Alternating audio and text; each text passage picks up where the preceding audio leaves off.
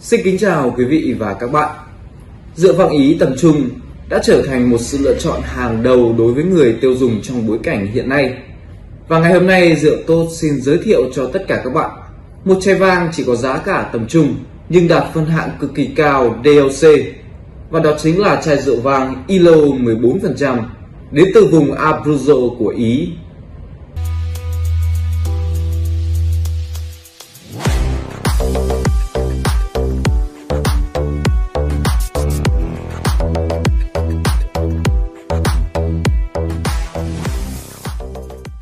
Rượu vang Ilo đến từ miền Trung nước Ý và được làm hoàn toàn từ 100% giống nho Montepulciano.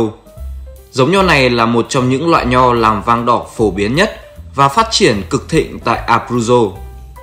Đặc điểm tốt nhất của nho phải kể đến độ axit thấp, tannin vừa đủ và cho ra màu sắc rượu vang đậm đà. Vang đỏ Ilo có hương thơm của các loại quả mọng chín như Việt quất, anh đào rừng xen lẫn các loại gia vị và gỗ sồi tạo ra cảm giác trầm ấm.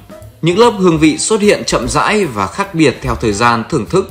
Nhiệt độ phù hợp nhất để sử dụng rượu vang Ilo nằm trong khoảng từ 16 đến 18 độ C. Những món ăn phù hợp có thể kể đến gà hầm, thịt lợn sông khói hay các món thịt bò được tẩm ướp vừa vặn. Đừng ngần ngại liên hệ với chúng tôi qua số điện thoại trên fanpage và website chính thức hoặc có thể ghé qua cửa hàng của chúng tôi tại các cơ sở trên toàn quốc để lựa chọn cho mình một chai rượu vang ưng ý nhất.